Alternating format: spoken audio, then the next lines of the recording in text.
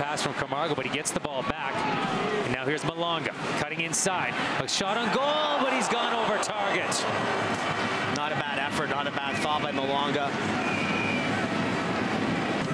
As Marcelin works his way past Brown. Now Brown dispossesses him. Brown inside, Camargo.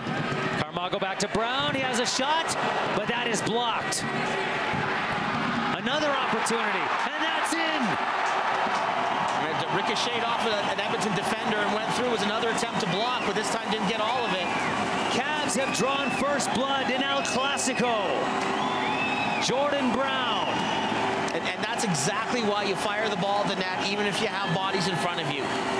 You never know. Sometimes that ball will take a bounce for you, and that one, clearly the deflection. Ledgerwood's delivery, low, driving, found Camargo, but he could not get on the end of it the way he wanted to. Played back in for Malonga. There's a shot on goal, but handled by James.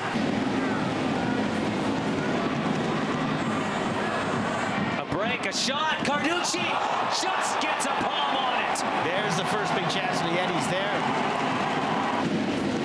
The throw.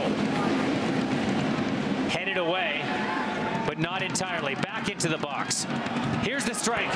Another save from Carducci.